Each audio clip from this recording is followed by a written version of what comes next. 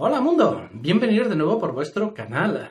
Os voy a hablar pues cómo va el tema de las recargas aquí en Europa, los precios que tienen y bueno pues cómo va saliendo en cada país el precio de las recargas. Ya sabéis, bueno, pues que a diferentes países diferentes eh, precios eh, a la hora de cargar los vehículos eléctricos.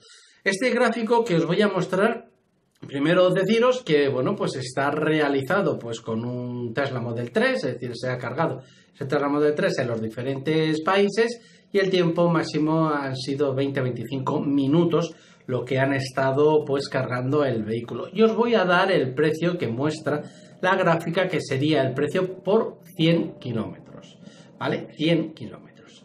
Bueno, pues venga, ahí tenéis ya la gráfica. Lo primero que observamos en esa gráfica bueno, pues son los países de arriba donde más económico sería cargar, que sería Islandia con 2,90 céntimos cada 100 kilómetros, Portugal 3,20 céntimos y Finlandia 4 euros con 60 céntimos. Estos serían los países más económicos a la hora de cargar el vehículo.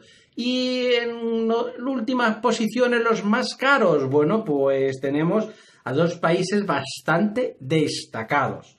¿Vale? En penúltima posición estaría eh, Eslovenia con 17 euros y Noruega casi con 19, 18,90. 18,90.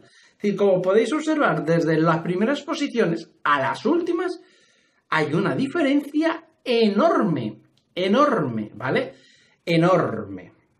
España, bueno, pues la estáis viendo en el gráfico, 7,10 sería la, carga cada 100 kilómetros, el precio que sale a los 100 kilómetros. Oye, la verdad que el precio, por lo menos en España, no estamos ahí compitiendo en las partes de abajo con el precio más caro. Oye, ya que tenemos esta red que tenemos, por lo menos, pues no serán los caros.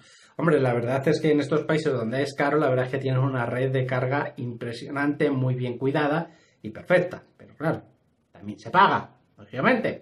¿Qué os ha parecido? ¿Eh? Pues abajo en caja de comentarios me ponéis. Y bueno, pues si habéis viajado y demás a Europa con, con, a decir, con países eléctricos, con coches eléctricos, pues contarme vuestra experiencia y cómo os ha salido al final el, el precio, porque esto es más o menos orientativo, ¿vale? Abajo, caja de comentarios. Y recordad que si puedo, mañana os veo. Venga, hasta mañana.